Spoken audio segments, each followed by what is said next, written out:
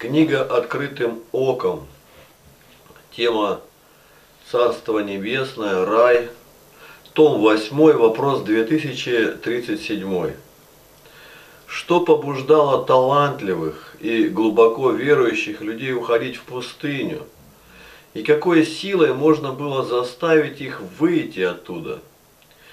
И всегда ли причины выхода были приличны святым? Отвечает Игнатий Тихонович Лапкин.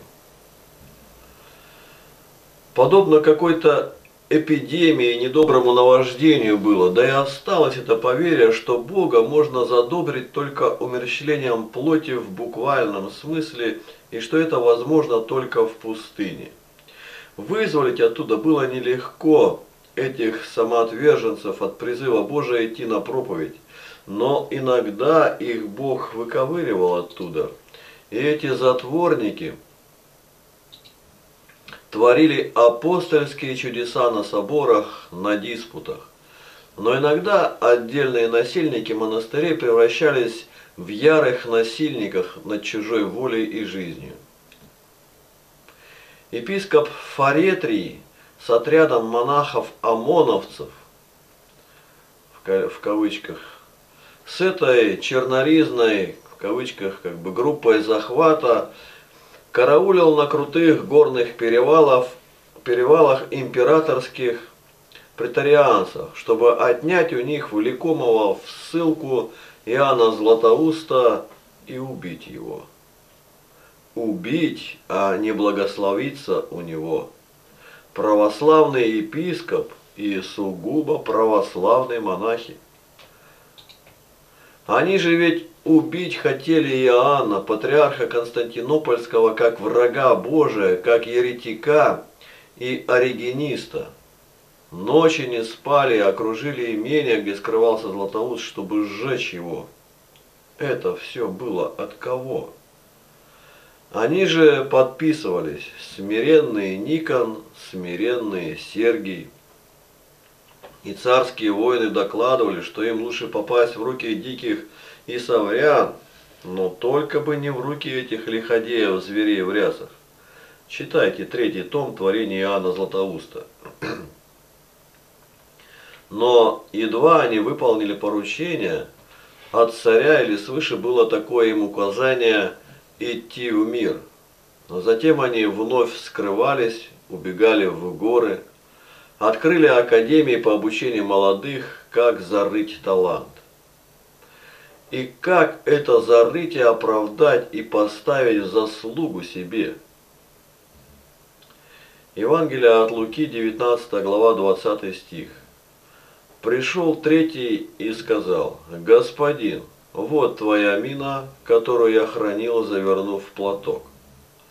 1 Коринфянам, 9 глава, 16 стих.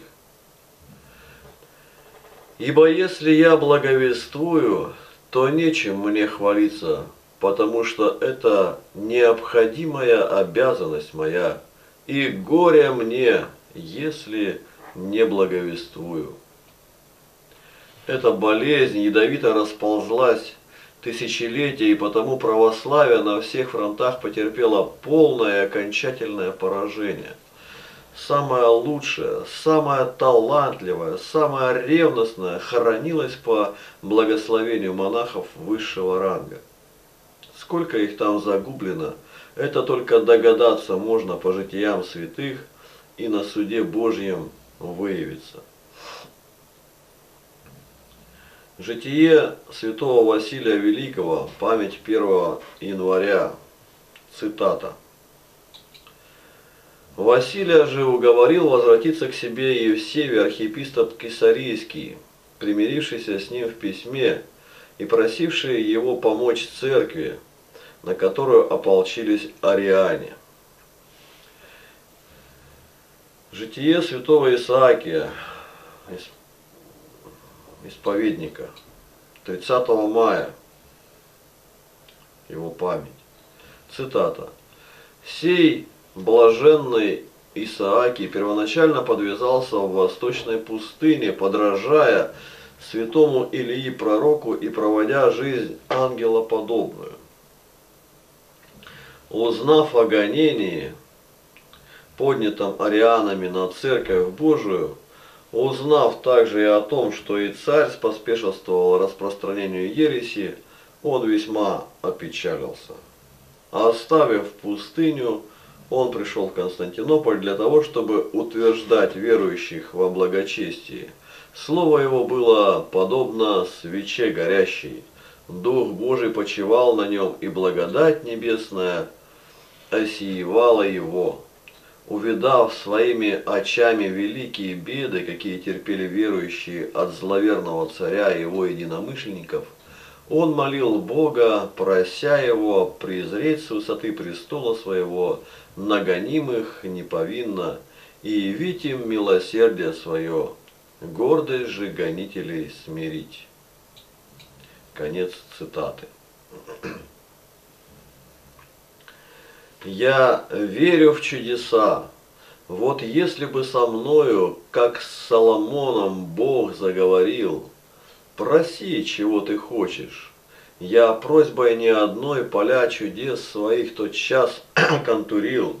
Нельзя ли, Господи, апостольское время хотя бы лет на десять в России повторить, стеной из добрых пастырей, как было при Неемии, другими возрожденными Россию одарить?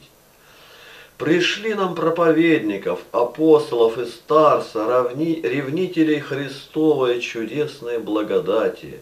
Любили бы они не это горе царства, к крещению готовили, конечно, не за плату. Дай всем нам страх, любовь к евангельскому слову, обуй нас всех в готовность идти благовестить, смиряться научи нас гордых, непутевых, понять, не все то золото, что на попах блестит. Опять же, мы запутались, заложниками стали обрядности, условностей, богослужений длинных, бормочем, масло в масле, засаленное сало, по сорок раз без счета, Господи помилуй. Верни нам смысл и разум в церковное стояние, по-русски все до слова по храмовым служениям. Не на вершине мы, вопим в глубокой яме, мы так и не сподобились в числе быть оглашенных.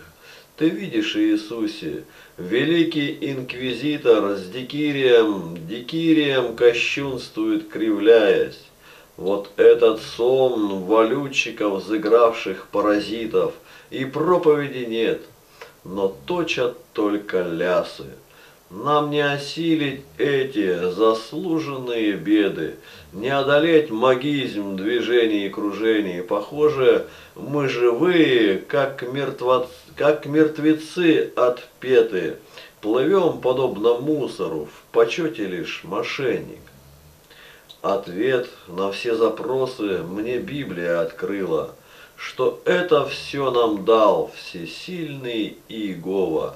Закон Христов отбросили, остались без перил мы, и потому светильник наш в подвале, а не на кровле.